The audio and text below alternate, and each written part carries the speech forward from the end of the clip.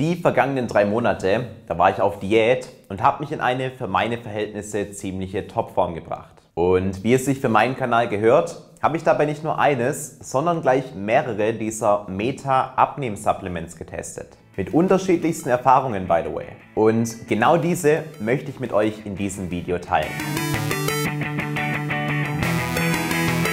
Die Rechnung, um erfolgreich abzunehmen, ist ja relativ einfach. Ihr müsst einfach nur weniger Energie aufnehmen, als ihr verbraucht. Und wenn ihr das nicht sicherstellen könnt, dann werden euch auch die ganzen Meta-Produkte nichts helfen. Die Produkte, die lassen euch also nicht einfach so abnehmen, sondern sie sollen, zumindest der Theorie nach, vielmehr den Prozess des Abnehmens einfach angenehmer und effizienter gestalten. Die typischen Begleiterscheinungen einer Diät sind nämlich so Dinge wie ein stärkeres Verlangen nach geilem Essen, besser bekannt als Heißhungerattacken, ein zum Glück tatsächlich nur geringfügig abfallender Ruheenergieverbrauch und, was allerdings im Gegensatz dazu deutlich mehr zum Tragen kommt, das unbewusste Einschränken der Bewegung im Alltag. Ihr führt eurem Körper ja in dieser Phase weniger Energie zu als normal. Und das führt eben dazu, dass ihr euch insgesamt gesehen einfach etwas müder fühlt als sonst. Typisches Beispiel bei mir. Ich raff mich und stehe vom Schreibtisch auf, um irgendwas zu machen, zum Beispiel die Blumen zu gießen. Anstatt aber genau das zu machen, habe ich mich in meiner Diät einfach nur erfolgreich von meinem Schreibtisch auf mein Sofa bewegt,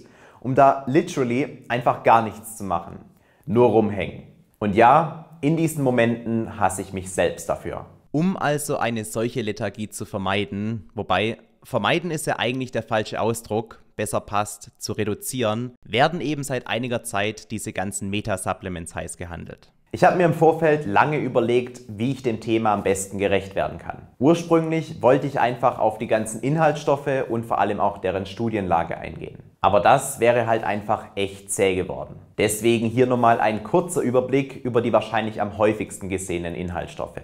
An erster Stelle wäre da das Synephrin zu nennen, das man in der Regel aus der Bitterorange gewinnt. Das Besondere daran ist dessen strukturelle Ähnlichkeit zu Ephedrin oder Adrenalin. Es nimmt also analog dazu Einfluss auf unsere Hormone und Neurotransmitter im Gehirn, wirkt dadurch, besonders in Kombination mit Koffein, auch sehr stimulierend und kann außerdem die Stoffwechselrate generell und insbesondere den Fettstoffwechsel steigern. Selbiges gilt auch für den Grünteeextrakt bzw. dem darin enthaltenen EGCG, das man in dieser Art von Supplements ebenfalls häufiger vorfindet. Bei diesen Stoffwechselversprechen bedarf es aber einer realistischen Erwartungshaltung. Ja, ihr könnt mit diesen Produkten auch in Ruhe etwas mehr Energie verbrennen, aber der Effekt ist längst nicht so groß, wie man denkt. Erwartet eher etwas so in die Richtung von einem zusätzlichen Verbrauch in Höhe von 100 Kilokalorien oder sowas. Das klingt natürlich wenig und ist ehrlich gesagt auch nicht der absolute Gamechanger in der Diät, aber es rechnet sich auf jeden Fall, wenn man das auf mehrere Tage oder gar Wochen hochrechnet. Gegen schlechte Stimmung wird dann gerne noch das 5-HTP eingesetzt. Das ist eine oral verfügbare Vorstufe von Serotonin und das kennen wir ja wiederum alle als sogenanntes Glückshormon, das uns ganz nebenbei auch noch unsere Gelüste nach Essen etwas in Zaum halten lässt. Der aber wohl für sich genommen wirkungsvollste und auch bekannteste Inhaltsstoff in diesen Supplements ist das Koffein. Das kennen wir ja alle aus Kaffee, aus Pre-Workouts oder Energy Drinks und wird dort wie auch hier eingesetzt, um uns einfach generell etwas weniger müde zu machen. Koffein ist für mich während der Diät zu einer immer wertvolleren Ressource geworden. Das Problem ist nur, dass hier mit der Zeit ein gewisser Gewöhnungseffekt eintreten kann. Heißt in der Praxis, wenn ich jeden Tag Koffein einsetze, dann werde ich irgendwann nichts mehr davon merken. Beziehungsweise eigentlich schlimmer noch, man erreicht sein Normallevel nur noch dann, wenn man Koffein einnimmt. Und spätestens dann befindet man sich in einem Koffein-Teufelskreis, der auch zu einer Sucht führen kann. Das ist im Übrigen auch der für mich generell schwierigste Punkt am Meta-Fire von Sportnahrung Engel und damit dem ersten Produkt, das ich während meiner Diät auch ausprobiert habe. Grundsätzlich war bzw. bin ich von der Wirkung ziemlich angetan, besonders das Energielevel als auch dieser hungerunterdrückende Effekt, die sind hier echt stark ausgeprägt und haben in meinem Falle beispielsweise dafür gesorgt, dass ich, als ich meiner Nachbarin beim Umzug geholfen habe, trotz Diät derjenige in der Gruppe war, der als letztes eine Pause einlegen musste. Durch die 100 140 Milligramm Koffein, die hier in einer Portion enthalten sind, würde ich dieses Produkt aber nicht als alleiniges Meta-Supplement in einer Diät empfehlen wollen. Das Meta-Fire eignet sich meiner Meinung nach eher als eine gezielte Ergänzung, wenn eben ein besonders harter Tag ansteht. So wie bei mir eben der Umzug oder beispielsweise auch ein längeres Ausdauertraining. Auf täglicher Basis kann ich es aber eben wegen des hohen Koffeingehalts so eigentlich nicht empfehlen. Erheblich weniger Koffein und eigentlich auch wissenschaftlich sinnvoll zusammengestellt ist der ESN Diet Support Pro mit unter anderem Synephrine, Grünteeextrakt und sogar diesem 5-HTP, das ich vorhin angesprochen habe. Genau aus diesem Grund habe ich dieses Produkt auch längere Zeit ausprobiert, habe aber besonders gemessen an dem Preis, den ESN dafür verlangt, nicht die Wirkung verspürt, die ich mir davon im Vorfeld erhofft habe. Klar sind da jetzt keine extrem pushenden Zutaten drin, aber etwas mehr Wirkung hätte ich mir davon schon versprochen. Meistens habe ich nämlich von den Kapseln echt wenig oder teilweise sogar gar nichts gespürt. Und genau das war eben auch mein Mindestanspruch an die Produkte, weswegen der Diet Support Pro bei mir auch durchgefallen ist. Anders sieht es allerdings bei den beiden letzten Produkten aus, die ich in meiner Diät ausgiebiger testen konnte,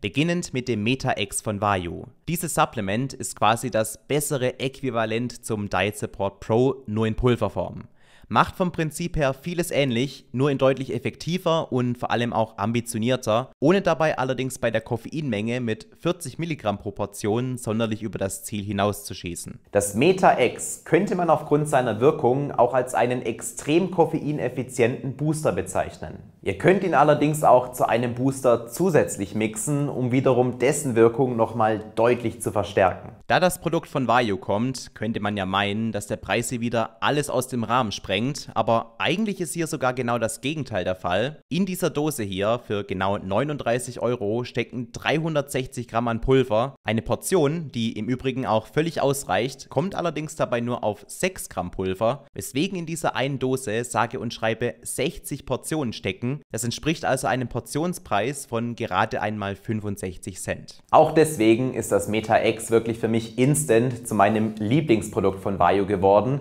und ich plane es auch nach meiner Diät weiter einzusetzen. In erster Linie dann in seiner Rolle als sehr koffeineffizienten Booster. Die Diet Support Produkte von HPN, die haben in letzter Zeit auch große Wellen geschlagen und es wurde vielfach unter meinen Videos gefordert, dass ich mir auch die mal etwas genauer anschauen soll. Genauer bieten sie gleich drei Produkte an, der Heat und der limitierte DNF, kurz für Do Not Fail. Die arbeiten dabei mit Koffein und der Ignite, der ist koffeinfrei. Und genau aus diesem Grund war der Ignite auch das Produkt, auf das ich mich fokussiert und über mehrere Wochen wirklich täglich eingenommen habe. Und tatsächlich Tatsächlich ist dessen Wirkung im Vergleich zu den anderen nochmal echt herausgestochen. In Sachen Energieschub würde ich ihn in etwa zwischen dem ESN-Produkt und dem Produkt von Vayu einordnen, aber besonders krass ist hier der Effekt, wie der Körper plötzlich in völliger Ruhe anfängt, einfach mehr zu arbeiten. Circa zwei Stunden nachdem ich die Kapseln eingenommen habe, fängt mein Körper plötzlich extrem an zu schwitzen. Und normalerweise bin ich echt nicht der Typ, der extrem viel schwitzt. Ich habe sogar einmal im Sportunterricht die schlechtere Note bekommen, weil mein Sportlehrer dachte, ich würde mich nicht anstrengen, eben weil ich nicht geschwitzt habe. Aber mit dem Ignite habe sogar ich so ausgesehen. Sogar die Nase fängt an zu laufen und auch der Speichelfluss nimmt zu. Wenn man mal auf die Inhaltsstoffe schaut, dann findet man da aber auch Zutaten, die so in keinem anderen Produkt vertreten sind. Und genau deswegen habe ich dann auch mal den Alex von HPN angehauen, damit der uns kurz erklärt, was denn bei seinem Ignite so Phase ist äh, ich bin hier, um ein bisschen was zum Ignite zu sagen. Denn der Ignite ist äh, vollkommen anders als ein normaler Fatburner. Er funktioniert komplett ohne Stimulantien und hat halt Pathways, die sonst so äh, nicht angesprochen werden.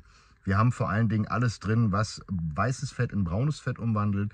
Dazu eine Menge, was euren Blutzucker stabilisiert als auch drückt. Plus so Dinge wie ProGBB, die euren eigenen Carnitinspiegel ansteigen lassen. Das gekoppelt untereinander mit einer wunderschönen Synergie äh, führt dann dazu, dass eure Thermogenese auch etwas durch die Decke geht und ihr, ich will nicht sagen extrem schwitzt, aber es ist eher so, dass ihr in Richtung ja, Schwimmbad im Gym geht. Und äh, die meisten Kundenfeedbacks sind so, dass sie sagen, mir wird verdammt warm und dann wird mir ein bisschen kalt und dann wird mir wieder warm und dann wird mir wieder ein bisschen kalt. Also so Kaltschweiß und Co. sind bei dem Ignite äh, vorprogrammiert. Der ist so gesehen auch in sich halt speziell Ihr wollt es mit Absicht, wie gesagt, einen Fettburner haben, der nicht auf Stimulanzienbasis ist, dass man ihn auch nehmen kann, wenn man am Abend mal äh, spät trainieren geht und trotzdem ein bisschen die Lipolyse anregen möchte. Und für alle Leute, die ein bisschen härter gesotten sind, hart, hart gesotten, ja, hart gesotten eher, die können gerne mal den Heat oder den DNF ausprobieren. Die sind aber, explizit der DNF, eher in Richtung äh, Hardcore-Fatburner zu verbuchen. Da ist drei bis vier Wochen, kann man das Ding nehmen und danach geht es dir ja, gut an die Substanz. Aber das ist ja das Ziel bei einem Stimulantien-Fettburner. Der wirkt auch in dieselbe Richtung, also auch weißes Fett in braunes Fett umwandeln, aber auch vor allen Dingen ja, Metabolismus auch durch Stimulantien anregen. In dem Sinne, ich hoffe, ich konnte euch ein bisschen was äh, zum Ignite sagen. Würde mich freuen, wenn ihr ihn ausprobiert. Schreibt mir gerne Kundenfeedback dazu. Und äh, ja, wünsche in dem Sinne noch ein sehr gutes äh, restliches Video. Es hat also wenig Sinn, diese ganzen Meta-Supplements alle über einen Kamm zu scheren. Es gibt untereinander nicht nur bessere und schlechtere Produkte, sondern auch die Wirkung, die kann extrem unterschiedlich ausfallen. Und genau deswegen spielt es bei diesen Produkten eine nochmal etwas wichtigere Rolle als sonst, dass man sich vor der Einnahme erstmal ein bisschen mit den Produkten beschäftigt und lernt, sie richtig einzusetzen. Tut man aber genau das, dann kann man sich eine Diät damit tatsächlich leichter als auch effizienter gestalten.